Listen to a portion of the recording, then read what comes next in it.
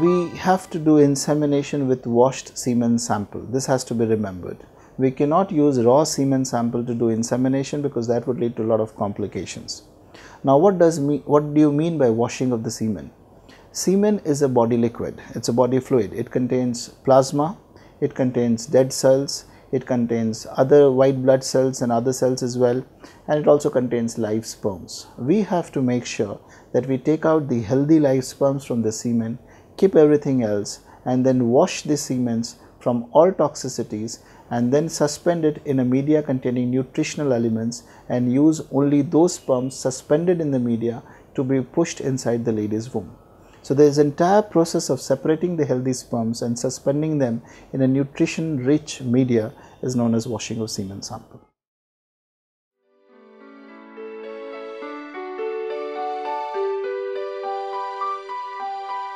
At one level IUI helps in some patients with a suboptimal semen parameters.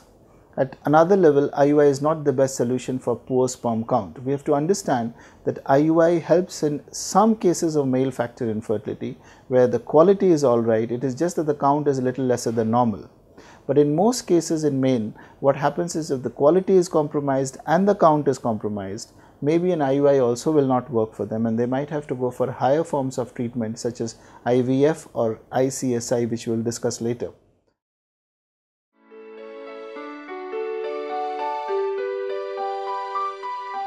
For an IUI, we would say that a count of more than 5 million motile sperms has to be there for us to get a good result.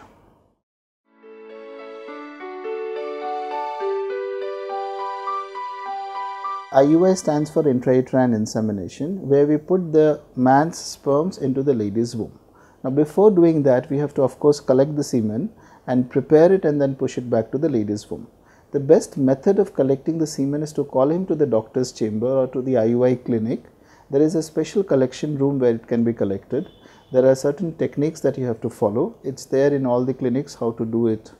The semen sample is collected in a nice container in a sterile sort of a way. It is then cleaned up, all the toxic material is removed, this is known as washing and after washing the semen is put inside the lady's womb. Ideally from the point of collection to insemination, it should not exceed more than 2 hours.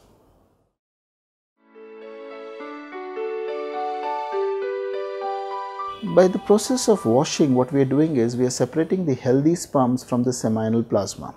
Now, you have to remember when the man ejaculates, what he gives out is the semen and semen contains the plasma, some toxic material and the live sperms. What we have to do is to remove the healthy sperms from this plasma, suspend it in a nutritional media and then push it into the lady's womb. Once the sperms have been taken out from the plasma, they don't survive for long, they don't survive for more than 3-4 hours.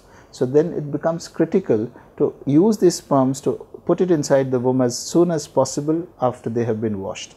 I would put it at 2 hours maximum after washing for us to inseminate the lady to get the best results.